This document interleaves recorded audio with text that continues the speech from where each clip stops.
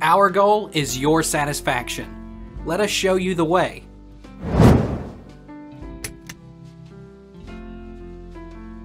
Can you visit where they film Yellowstone? We're not going on the record promising that you'll morph into Rip by staying in his former, fictional, homestead. But as Beth Dutton says, if it walks like a duck and talks like a duck. Although the main lodge is not available for guests, all cabin guests are welcome to tour the full property and filming locations. How much is the Yellowstone Ranch worth? How much is the Dutton Ranch worth on Yellowstone?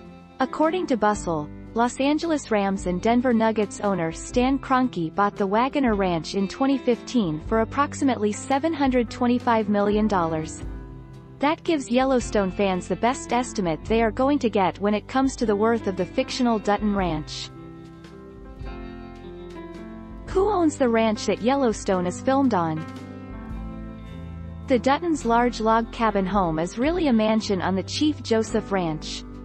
The mansion, which is 5,000 square feet, is over 100 years old. It was built in 1917 for a glass tycoon, William Ford, and his family. And no, Costner does not really own the ranch, it currently belongs to Shane Libel. Take our lead. Let's help you make your mark.